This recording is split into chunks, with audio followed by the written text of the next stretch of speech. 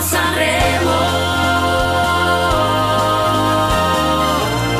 Radio Bruno. Siamo contentissimi di avere qua ospiti negli studi di Radio Bruno una delle protagoniste indiscusse di questo Festival Sanremo 23, che è Madame. Ciao. Ciao, Come stai? Come sta andando? Come te la stai vivendo?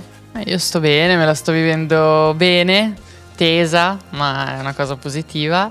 Eh, tu stai bene? Io sto bene, siamo tutti stanchi, però quella stanchezza costruttiva, non so, che arrivi a fine serata che dici, bello, ho fatto una cosa bella, immagino tu ancora di più.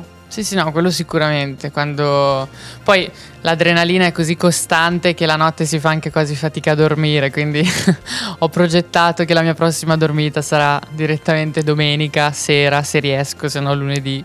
Esatto. E tutta la settimana la impegnerò così. Senti, com'è tornare sul palco dell'Ariston? È un palco che ci si abitua a vivere oppure come, sempre come la prima volta? Ma non so, io non vedo il palco dell'Ariston come qualcosa di così distante, così, cioè, lo vedo molto familiare in realtà. Quindi mm, non so, non lo vedo come un nemico, capito?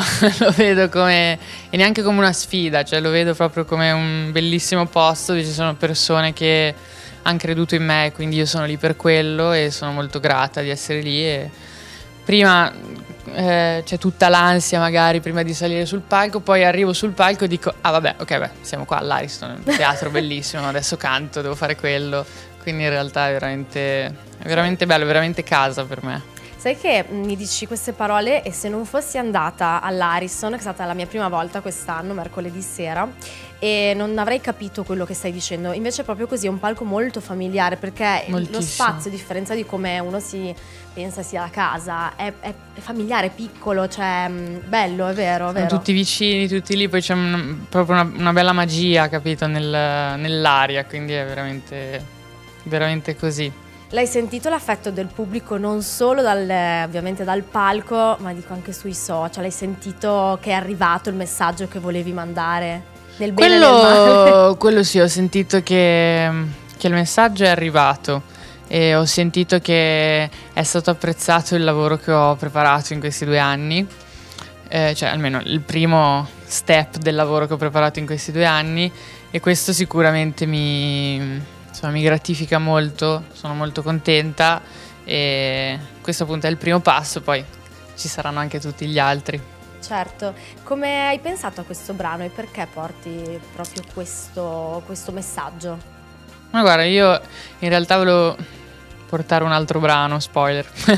volevo portare un altro Ah. brano ehm, un pochino più magari non so, non so neanche, no, è impossibile descriverlo, però ehm, cioè, non riuscirei a trovare le parole razionalmente. Però volevo portarne un altro, l'ho fatto sentire ad Ama, mi ha detto eh, hai qualcos'altro, allora gli ho fatto sentire il bene e il male, che all'inizio non mi piaceva tanto. Davvero? Sì, sì, non sapevo neanche se volevo metterlo nel disco. O forse nel disco sì lo volevo mettere perché sapevo che sarebbe andato bene, però ero un po' indecisa. E Amadeus mi ha detto: Ma no, fidati, questo brano è la cosa giusta per te in questo Sanremo. E io gli ho detto: Guarda, va bene. Eh, ma eh, aveva ragione perché le No, no, classifiche, infatti- allora, infatti- classifiche Spotify sei altissimo e classifiche eh, del festival stai andando No, no, benissimo. ma infatti io Cioè, sono- direi che ci aveva ragione. Sì, sì, io infatti gli ho detto: Guarda, fer- gli ho detto: Fai tu. eh, I brani sono questi due. Gli ho detto: Scegli tu, io mi fido di te. Non. eh, Comunque Ama ha fatto un bellissimo lavoro su di me nel 2021, ha dimostrato sempre di tenere a me, di volermi bene ehm, a livello artistico, quindi anche quest'anno gli ho detto guarda mi fiderò. Ti fiderai per prendere una citazione Esatto. da un altro brano. esatto. No, no, a noi è piaciuto moltissimo, e poi molto radiofonico tra l'altro e secondo me funziona bene. Senti, cosa ti aspetti da questa sera o l'ultima serata? Mm, Non mi aspetto mai niente dalle cose. Ma non è una cosa triste. Cioè, io ho fede che andrà bene, ho speranza che vada bene. Eh, poi aspettative. Di solito parto sempre da zero, che così si può solo che salire. No, adesso, oggi, cioè, è tutto da giocarsela stasera, eh? È da giocarsela, sì, stasera. Stasera sì. Bene, ma cosa vedremo? Qualcosa di diverso? Ah, un'altra cosa, devo farti i complimenti perché Rumors, eh, insomma, tanti tanti commenti positivi sul tuo look, sei piaciuta tantissimo. Ehm, quindi un restyling che ha convinto tutti e l'hai scelto da Ah, sì. sola, è stato... non So, sei cresciuta poi in due anni, è Sì. un'età per cui si cresce tanto. Allora ti dico, eh, è tutto un po' ispirato a un libro che ho letto anni fa, che è Lolita di Nabokov.